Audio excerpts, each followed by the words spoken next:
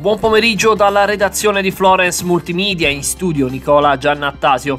Sulla Fipili per lavori, un chilometro di coda in entrambe le direzioni tra Ginestra Fiorentina e Lastra Assigna. Sulla A12 prestare attenzione per un incidente avvenuto tra Massa e Versilia in direzione di Livorno. Sul raccordo Siena-Firenze, scambio di carreggiata tra San Casciano e l'allacciamento A1 di Firenze in Pruneta. Sul raccordo Siena-Bettolle per lavori di pavimentazione è chiuso lo svincolo di Taverne d'Arbia in ingresso e in uscita in direzione Bettolle. Sulla statale 2 Cassia fino al 9 aprile per lavori è chiuso lo svincolo di Montalcino in ingresso e uscita in direzione Siena. Muoversi in Toscana è un servizio realizzato in collaborazione con Regione Toscana, Città Metropolitana di Firenze e Comune di Firenze. Buon viaggio!